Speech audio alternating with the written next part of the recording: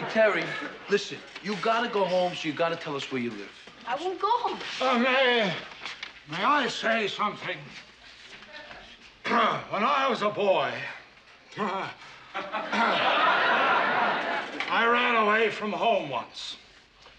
It was an important experience for me. If somebody had called the police and taken me home right away, who knows?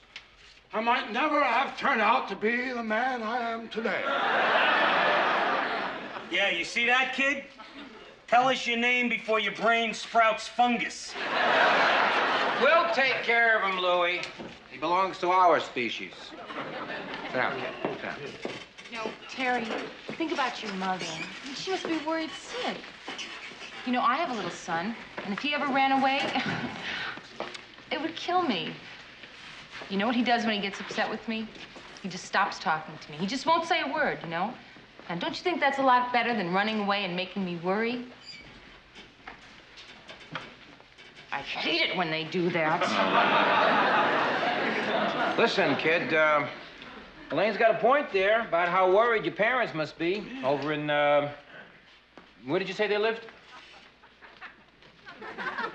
Come on, kid, now talk, or we're gonna have to start tickling it out of you. Nice try, Alex.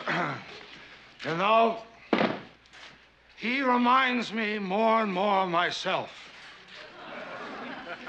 He's not going back, and neither am I. Thanks, mister. Just call me Jim.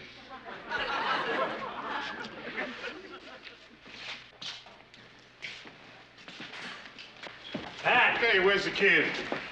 Oh. Oh, good. We got a bright one. All right, hey, don't worry, Terry. This guy's just here to help you. Don't worry.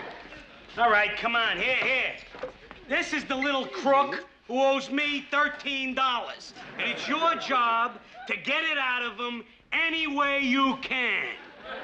You prod me one more time, I'm gonna show you eight places you can beat a man and leave no marks. Ah, so what? So what? So you're big. So you're black. So you got a badge. So you got a gun. I'm a dead man.